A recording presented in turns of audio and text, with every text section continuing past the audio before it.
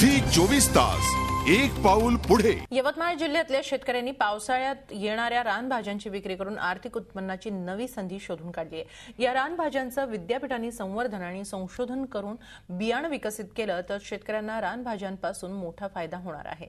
अशा भाज्यांची व्यावसायिक लागवड झाली तर शेतकऱ्यांची आपापसातली स्पर्धा कमी होऊन सगळ्याच भाजीपाला पिकांना चांगला दर मिळायलाही मदत होणार असल्याची बाब या निमित्तानं समोर आली आहे.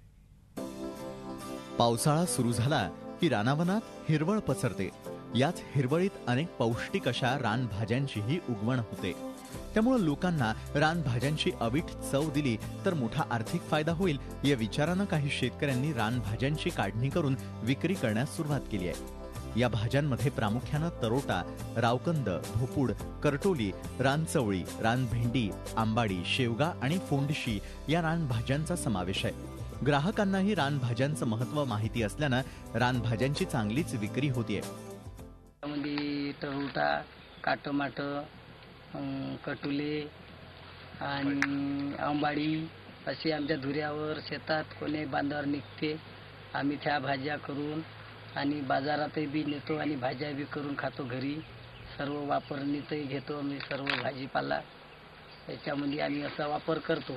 हे जे पिकं आहे या पिकातून असं राहते की जसं अंबाडीचं जर सांगायचं झालं तर अंबाडीचं म्हणजे कसं की एक काळ असा होता की नुसतं अंबाडीच्या झाडावर लोक जगले आणि त्याच्यात कळणा टाकायचे आणि त्याची भाजी करून नुसती भाजी सुद्धा खाऊन जीवन जगलेलं आहे अशी ती अंबाडी आहे. शेतकऱ्यांनी या भाज्यांचं रानावनात संवर्धन केलं तर ग्रामीण भागातील शेतकऱ्यांना कमी खर्चातला नवा पर्याय सहज पुढे येईल. खा खाले हे पौष्टिका खाले कटुले पाच सहाशे रुपयात धंदा होते दिवसातून. अशा रान भाजीपाला पिकांचं संवर्धन केलं तर शेतकऱ्यांना मोठा फायदा होईल.